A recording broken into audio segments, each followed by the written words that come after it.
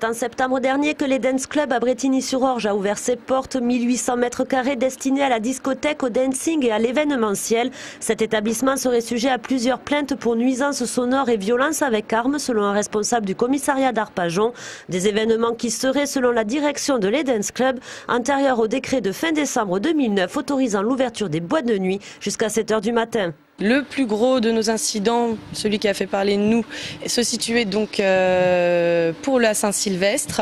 Incident qui d'ailleurs concernait euh, pas des clients de la discothèque, qui s'est déroulé après sa fermeture, donc au petit matin. Il faut savoir que euh, nous sommes quand même aux normes. Nous avons fait une étude acoustique qui nous certifie donc que nous sommes bien réglementaires au niveau des décibels. Une soirée police-pompiers parti est organisée ce soir dans l'établissement. Une soirée qui répond à une demande bien précise. Cette soirée a été organisée en réponse à un besoin. Il s'agit en fait d'un membre des forces de l'ordre qui est venu s'adresser à nous tout simplement dans le but de pouvoir organiser une soirée pour ses collègues. Donc nous attendons euh, des personnes des forces de l'ordre et des pompiers qui, viennent, qui viendront de l'Essonne.